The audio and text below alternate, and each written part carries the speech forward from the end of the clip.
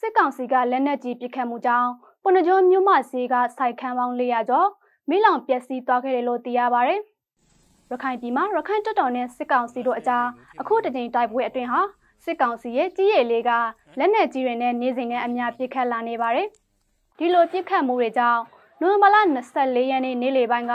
ပုဏ္ဏကျွန်းမြို့မစီကိုကြားရောက်ပောက်ကွဲခဲ့ပြီးမိလောင်ကျွမ်းခဲ့ပါတယ်။အဲ့ဒီမိဟာဒီကနေ့နေ့လယ်အထိလောက်ကျွမ်းခဲ့တယ်လို့ဒေသခံတွေကပြောဆိုကြပါတယ်။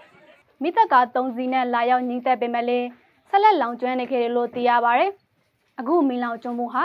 စစ်ကောင်စီရဲ့နေဗီကပြစ်ခတ်ခဲ့တဲ့လက်နက်ကြီးကြီးကြောင့်လောင်ကျွမ်းခဲ့ရလို့သိရပါတယ်။အဲ့ဒီကိစ္စနဲ့ပတ်သက်လို့တာဝန်ရှိသူတွေကိုဆက်သွယ်စုံစမ်းခဲ့ပေမဲ့လည်းလက်ရှိအချိန်ထိမိလောင်ကျွမ်းမှုကြောင့်ပျက်စီးဆုံးရှုံးမှုတန်ဖိုးကိုမသိရှိရသေးပါဘူး